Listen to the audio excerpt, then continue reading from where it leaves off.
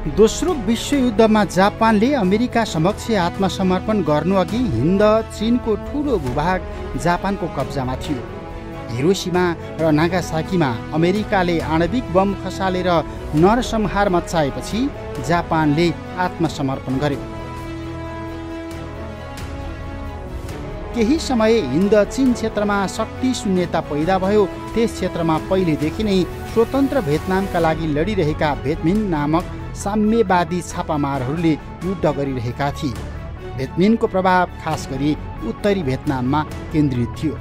जापानी फौजले आत्मसमर्पण गरेपछि त्यस क्षेत्रमा फ्रान्सले आफ्नो शासन दावी गर्यो जहाँ जापानी साम्राज्यले आक्रमण गर्नुअघि फ्रान्सकै शासन थियो।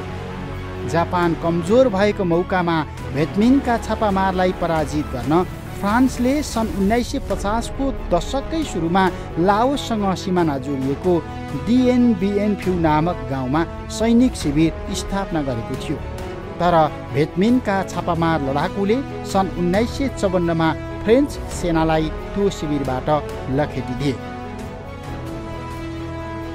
भियतनामको इतिहास अनुसार फ्रान्सेलीहरूले सन् अठार सय अडसट्ठीमा सौगोन क्षेत्र कब्जा गरेर भियतनाममाथि धावा बोलेका थिए। राष्ट्रिय स्वाधीनता सङ्कटमा परेपछि अठार सय तिसकै दशकमा भियतनामका तिनवटा कम्युनिस्ट समूहले एकीकरण गरेर हङकङमा एउटा पार्टीको घोषणा गरेका थिए जति बेला भियतनाममा फ्रान्सेली साम्राज्यवादको दमन थियो।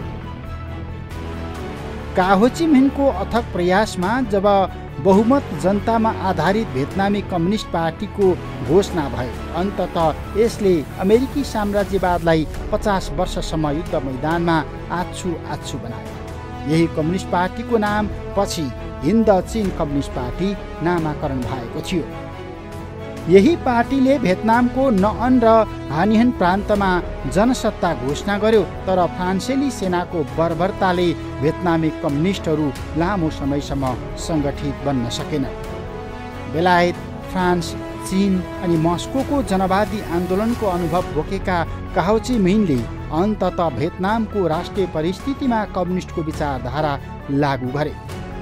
सन् उन्नाइस सय छत्तिसमा जनवादी सुधार लागू गर्ने जनताको जीवनस्तर उकास्ने र स्थानीय परिषदको चुनावमा सबै बालिग जनतालाई भोट खसाल्ने अधिकार दिने नारासहित भियतनाममा हिन्द चिन महाकङ्ग्रेस नामको आन्दोलन घोषणा भयो।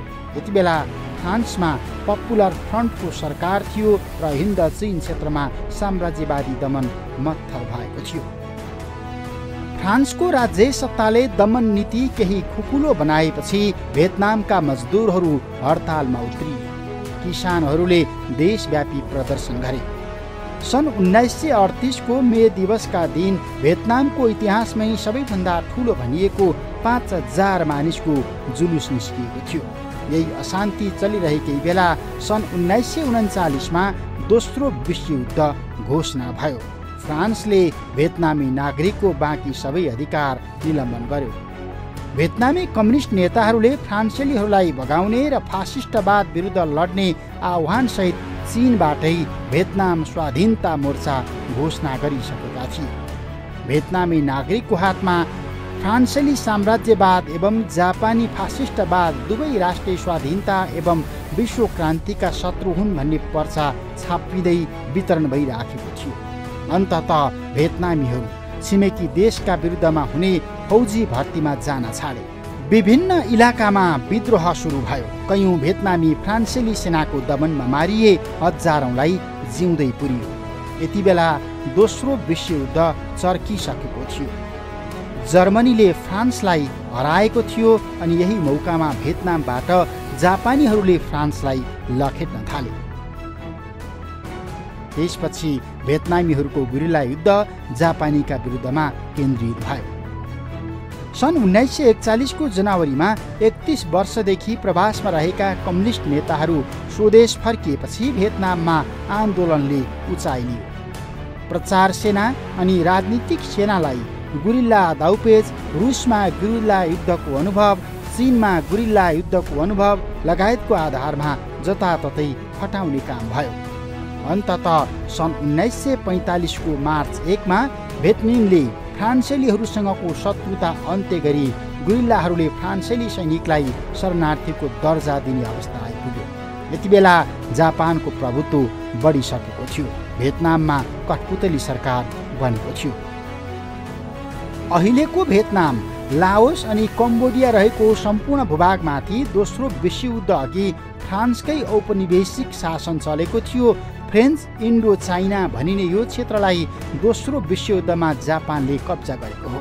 यो क्षेत्रलाई वैदेशिक शासनबाट पूर्ण रूपमा मुक्त गराउन कम्युनिस्ट नेता होचिमिनले सुरु गरेको भेटमिन नामक बलियो प्रतिरोधी गठबन्धनलाई भियतनाम क्रान्तिको पूर्वाधार मानिन्छ। इन्डो चाइना क्षेत्रमा दोस्रो विश्वयुद्धको अन्त्य लगत्तै सन् उन्नाइस सय पैँतालिस पछि फ्रेन्च साम्राज्य पुनः फर्किएको थियो तर यसपटक उसले बलियो आन्तरिक प्रतिरोधको सामना गर्नु पर्यो। नौ वर्ष चलेको कठोर सङ्घर्षमा अमेरिकाले फ्रान्सलाई गोप्य रूपमा ठुलो आर्थिक सहयोग गरेको खुलेको छ। अनुसन्धान अनुसार अमेरिकाले फ्रान्सको उपनिवेश कायम राख्ने युद्धको असी प्रतिशतसम्म आर्थिक भार उठाइराखेको थियो। सहयोगको बावजुद फ्रेन्च फौज भेटमिन नामक सेनासँग हार्नु पर्यो। लगातारको हारपछि फ्रान्स भियतनामबाट बाहिरिन पर्यो। सन् उन्नाइस सय चौवन्नमा स्विजरल्यान्डको जेनेभामा सम्पन्न अन्तर्राष्ट्रिय सम्मेलनमा फ्रान्सले फ्रेन्च इन्डो चाइना क्षेत्रबाट आफ्नो सेना फिर्ता गर्ने घोषणा गर्यो। आफ्नो कब्जामा रहेको भूभागलाई उत्तरी भियतनाम दक्षिणी भियतनाम लाओस अनि कम्बोडियामा बाँडेर स्वतन्त्र राज्य दिने प्रस्ताव राख्यो सबै शक्ति राष्ट्र र छिमेकी राष्ट्रहरू यसमा सहमत भए। उत्तरी भियतनाम र दक्षिणी भियतनाम अलग अलग हुने वा एक हुने भन्ने विषयमा दुई वर्षभित्रै निर्वाचन हुने र त्यसले टुङ्गो लगाउने सहमति भएको थियो। तर चुनाव हुँदा उत्तरी भियतनामले चाहे जस्तो एकताको पक्षमा ठुलो मत आउने अवस्था नदेखेपछि अमेरिका चुनाव टार्ने पक्षमा उभियो। यो शीत युद्धको चरम अवस्था थियो।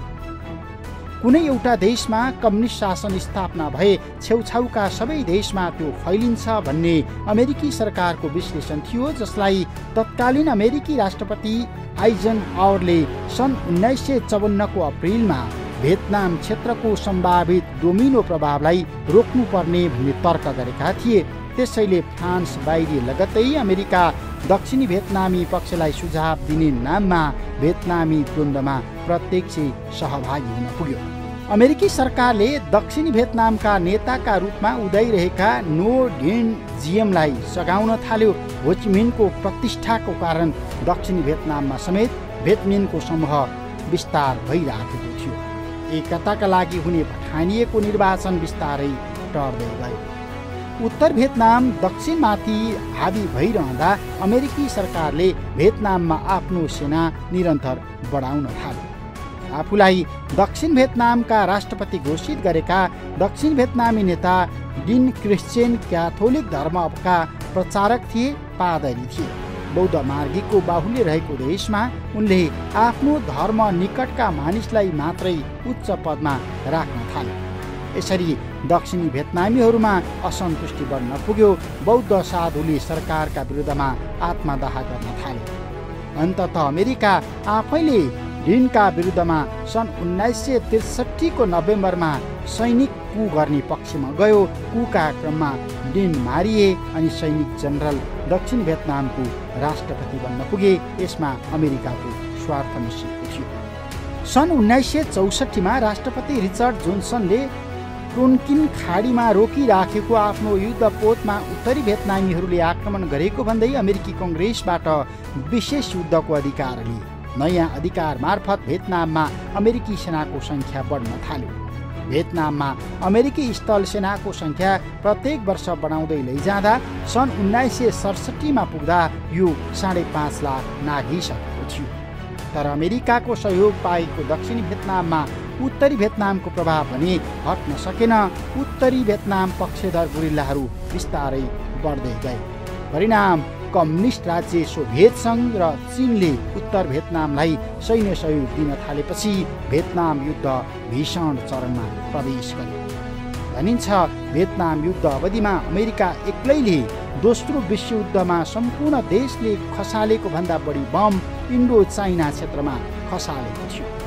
सन् उन्नाइस सय साठीको दशकमा भियतनाम युद्धमा अमेरिकी संलग्नताको विरोधमा अमेरिकाभित्र र विश्वका धेरै ठाउँमा विरोध प्रदर्शन चर्कियो।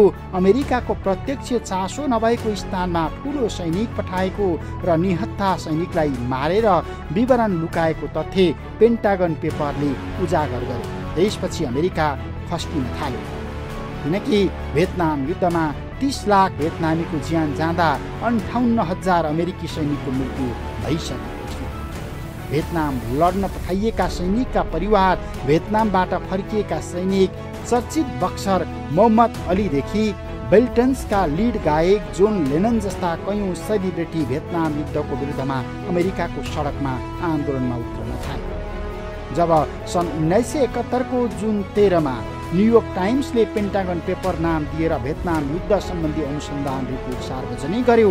तत्कालीन निक्सन सरकार सङ्कटमा पर्यो अमेरिकीहरूमाझ सरकारप्रति ठुलो अविश्वास पैदा भयो। युद्ध विरोधी प्रदर्शन अमेरिकाभर सर्किन थाल्यो। दुई वर्षभित्र सन् उन्नाइस सय त्रिहत्तरको जनवरी सत्ताइसमा निक्सन सरकारले भियतनामबाट अमेरिकी सेना फर्काउने पक्षमा पेरिस शान्ति सम्झौतामा हस्ताक्षर गर्नु पर्यो यति समयसम्म दक्षिणी भियतनाम र उत्तरी भियतनाम कुनै पक्षले निर्णायक जित हासिल गर्न सक्ने अवस्थाबाट गुज्रिराखेको थियो। तर उत्तरी भियतनाम भियतनाममा पुरै हाबी हुँदै गएको थियो। झन्डै पचास वर्षसम्म चलेको यो भियतनाम युद्धमा अन्तत अमेरिका पराजित भयो। सन् उन्नाइस सय पचहत्तरको जुलाईमा उत्तर भियतनामले दक्षिण भियतनाममाथि कब्जा जमायो। भियतनाम युद्ध अन्त्यको घोषणा गर्यो। इतिहास अनुसार भियतनाम युद्धमा जम्मा पैँतिसजना व्यक्ति थिए तिन थान राइफल थियो अनि एउटा पेस्टोल थियो। त्यही पेस्टोल त्यही राइफल अनि त्यही पैँतिसजना व्यक्तिले भियतनाम युद्ध सुरु गरेका थिए। दोस्रो विश्वयुद्धताका जापानले कठपुतली सरकार बनाउँदासम्म यो पैँतिसजना व्यक्तिहरूको जत्था दस हजार सिपाहीमा परिणत भइसकेको थियो। यिनी मुक्ति सेनाको ऊर्जा अनि आह्वानमा अन्तत लाखौँ भियतनामीले अमेरिकालाई भियतनाम युद्धमा धुलो चटाएर फिर्ता उठाए भियतनाम एकीकरण भयो अनि विश्व मानचित्रमा एउटा स्वतन्त्र राष्ट्रको हैसियत पुग्न भियतनामी जनताले कहिले पनि थिए अहिलेको भियतनाम यही पचास वर्षसम्म अमेरिका विरुद्ध लडेका भियतनामी जनताले परिकल्पना गरेको विशाल भियतनाम हो।